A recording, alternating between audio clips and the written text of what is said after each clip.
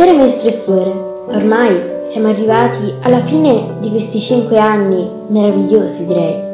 E oggi mi trovo qui a scrivervi questa lettera per ringraziarvi di tutto ciò che avete fatto per me nel corso di questa mia prima avventura.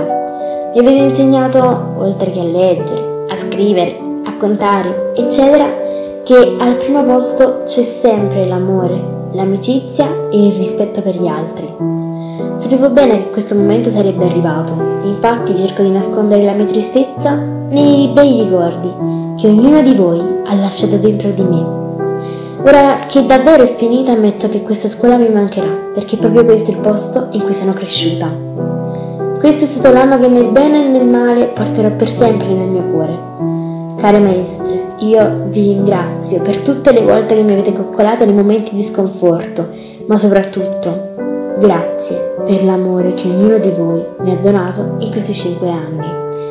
E ricordatevi che vi porterò sempre nel mio cuore. I will carry you forever in my heart.